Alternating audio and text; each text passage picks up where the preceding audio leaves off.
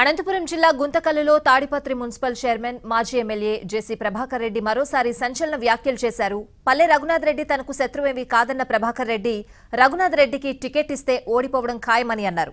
టీడీపీలోకి కొత్త ముఖాలు రావాలని చంద్రబాబును మళ్ళీ సీఎంగా చూడాలన్నదే తన కోరిక అని చెప్పారు. వైసీపీలోకి వెళ్తారా అని అడిగిన ప్రశ్నకు అభ్యంతరకరమైన పదజాలం వాడారు. మర్యాదగా ఏం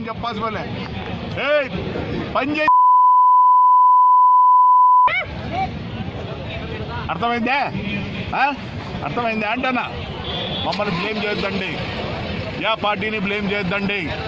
మీరు మార్చాలా? ఒకేలా రేపు అంతా ఇది చూసి అంటారేమో. కొవ్వు బట్టి అంటాను? బాధతో అంటాను?